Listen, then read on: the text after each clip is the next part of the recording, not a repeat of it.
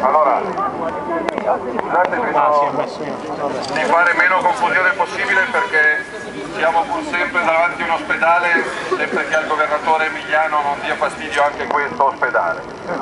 Siamo, siamo qua perché prevenire è meglio che curare.